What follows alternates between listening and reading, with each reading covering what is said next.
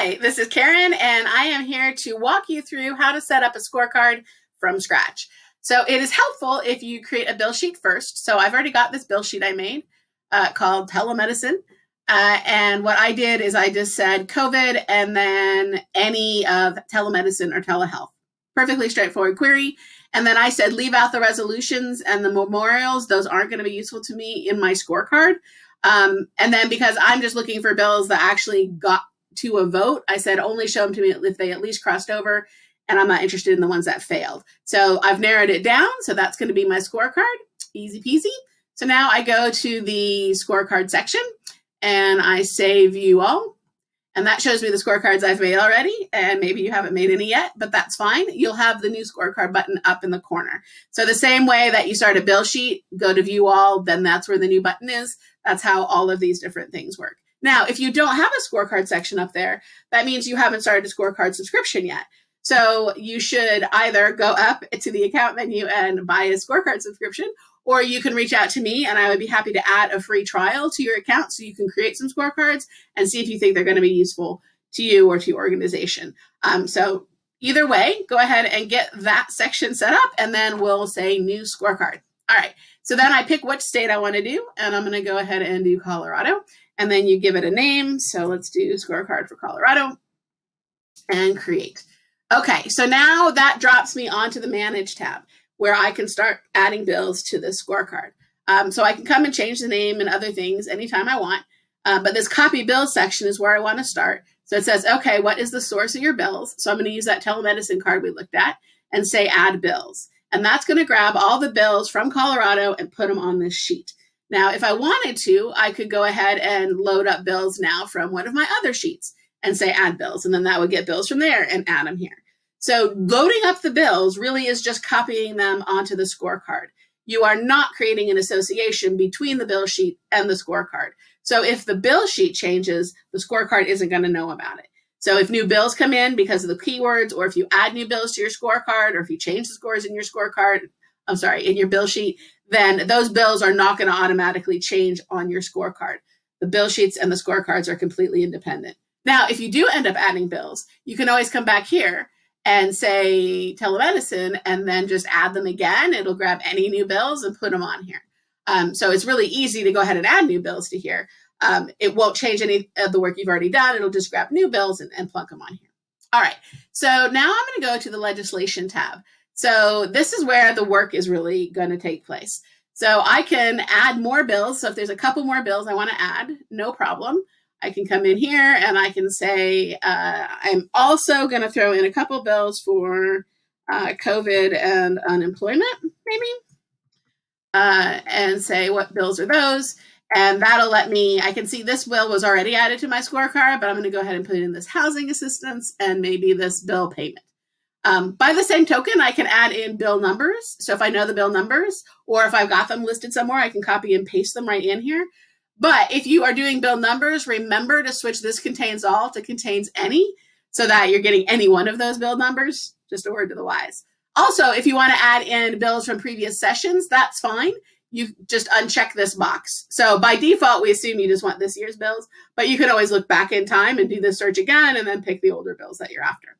Um, I imagine I won't find any in 2019 that say COVID. So um, yeah, so those are the bills that I'm going to want. Okay, now if one of these uh, came through and it's not actually reimbursement, so that was on my bill sheet, but reimbursement isn't my interest, then I can edit this guy.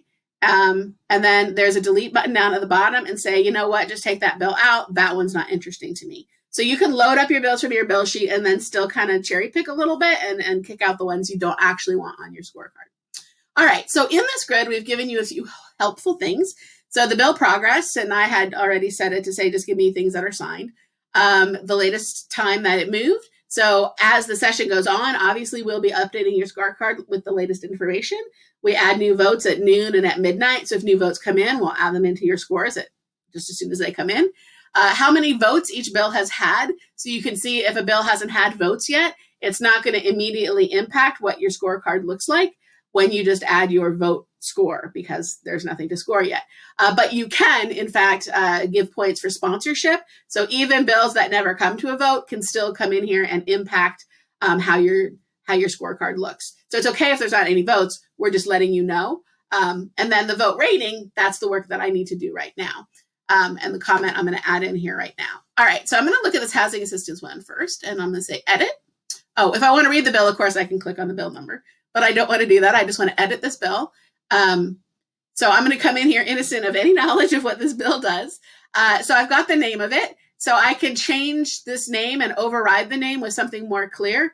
That's a pretty clear name. But if the name bill has a nickname or if something if I need to clarify it so that my members, when they're looking, will understand what bill this was, you can override the name uh, to be a nice, simple, understandable name if you need to. And then the bill rating, we just need you to give good bills a positive number and bad bills a negative number. So you can just go one and minus one for good and bad. Or we like to recommend going like zero to five, like you're rating a movie for a good bill, or zero to minus five if it's a bad bill.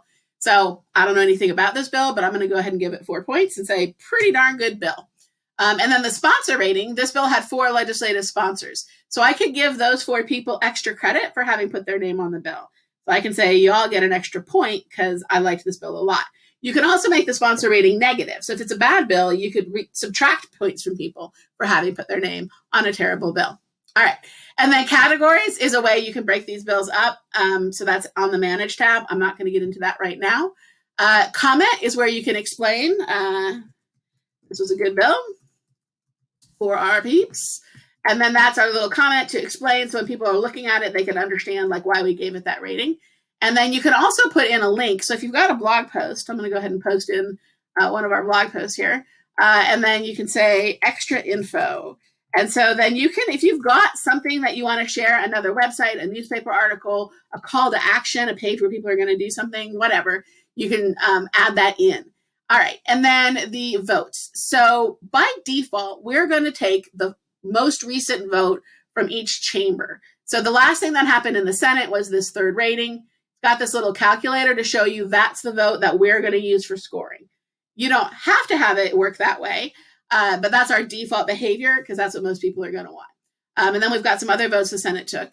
And then the last thing that happened in the House was the third reading, and it's got the little calculator. So we know that's the one that's going to go in.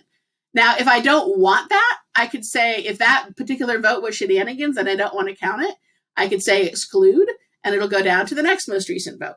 Um, so you can always do that if you don't want a bill or a particular vote to be counted for whatever reason.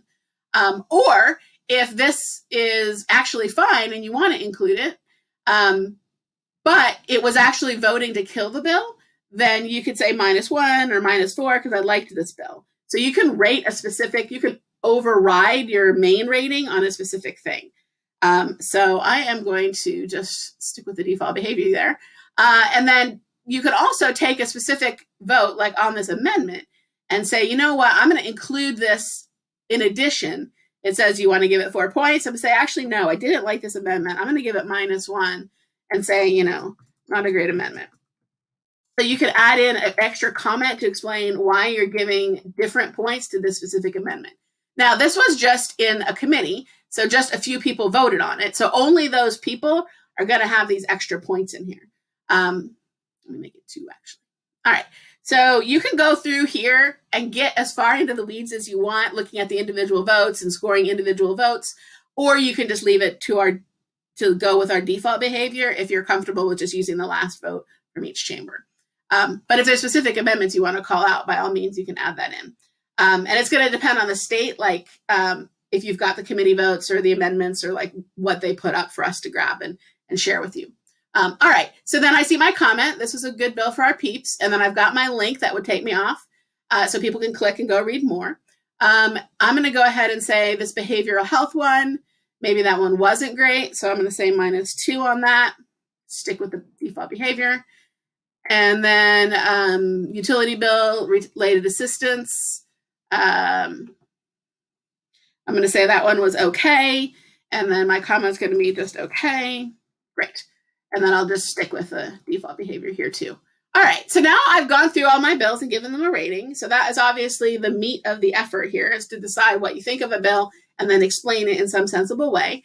And now when I go to the summary tab, I'm going to see the results. So everybody how they how they voted um, and who did uh, who voted well and who voted poorly. All right. So I've got all these different scores in here, who was helpful and who was not. And these possible points are how many points they could have got if they voted exactly correctly. And so we see that Rod has nine, whereas everyone else has seven. So uh, he was on that committee where we gave the extra points to. Um, and then we see his vote index, that's the percentage of the time you voted correctly. So if you voted correctly all of the time, then that would be 100%. If you voted half right and half wrong, then that is around 50%. And then if you voted entirely wrong, then that would be 0%. Um, all right. So that is just the percentage of the time you voted correctly um, out of 100%.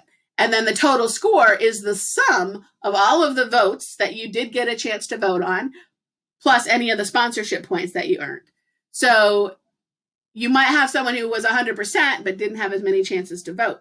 Um, so we consider this to be like, I like to think of that vote index as the ideological purity, like just what percentage of the time did they get it right? And the total score is more the impact. So, how many chances did they have? Are they on the committee you care about or in the chamber that did the most action? Did they sponsor a lot of bills? Add that all together. That's their total impact on your agenda. Um, all right, so that is kind of the scoring. You can set this up to sort in any order you want. So you can click on any of these to check it out. But you can also, on the Manage tab, set the default sort. So when people first come, what is it? What is the point you're trying to make? Do you want them just to look up their own person? Do you want them to see who was the most pure or who had the most impact? So pick what makes sense to you. And then when people come, they'll form the initial impression you want them to, but then they can get in here and start interacting with it and figure out and maybe click on their own representative. So if I click on um, Brianna here, uh, I'll be able to see uh, how she voted. So I've got uh, her individual votes. And so I see like, yes, this is a good bill. And then the this one I didn't like. She voted yes, so it's red to say not good, and then my other comment. Um, but if I let me go ahead and close her, and let's go back and find Rod. Uh, so he got a chance to vote on that amendment, right? So now on the amendment, I've got House Appropriations Amendment, and now I've got that extra comment, not a great amendment. So that was where I went in and put a comment on the specific vote that overrides the overall comment for the vote to explain why that specific vote had something different. So this was the comment I put on the bill. So the, the votes I've got on the bill are just going to have the bill comment. But if I want to, I can override that with the comment about the very specific bill. Um, and then again, the color coding lets you see if that was right or wrong. And then you can see if they sponsored any of the bills you care about. Um, so these are pretty helpful as far as the individual legislator looks go.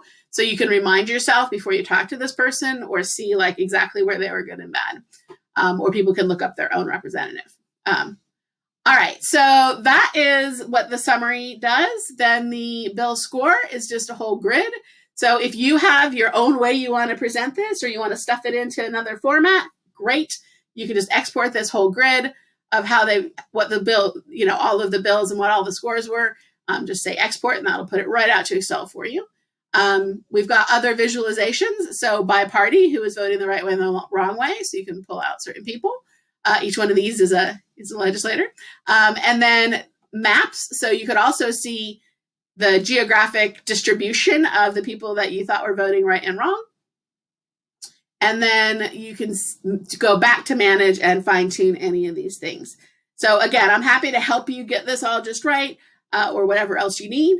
Um, if you're happy with it and you want to share it, you can go to the very bottom and say, make this scorecard public.